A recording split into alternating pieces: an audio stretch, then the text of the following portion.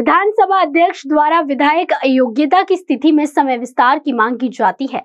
शिवसेना उद्धव गुट के भास्कर जाधव ने मीडिया के सामने कहा है कि मैं हैरान नहीं हूँ। आइए देखते हैं। असं आहे की विधानसभा अध्यक्षांनी आमदार अपात्रता चर्चेसंदर्भात जर वेळ मा- वाढवून मागितली असेल, तर त्याच्यामध्ये माझ्यासारख्या माणसाला फार मोठं काय आश्चर्य वाटायचं कारण नाही. एकतीस डिसेंबर पर्यंत हा कोणत्याही परिस्थितीमध्ये निर्णय द्या. अशा पद्धतीचं एक प्रकारचे आदेश वजा.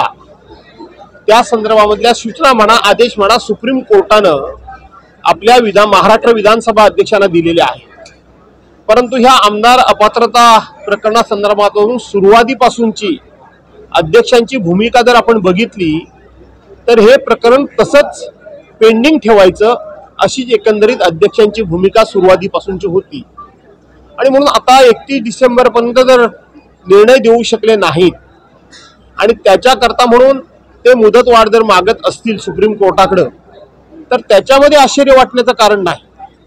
ते त्यांच्या कार्यपद्धतीनुसार त्यांच्या भूमिकेनुसार ते सुसंगत आहे.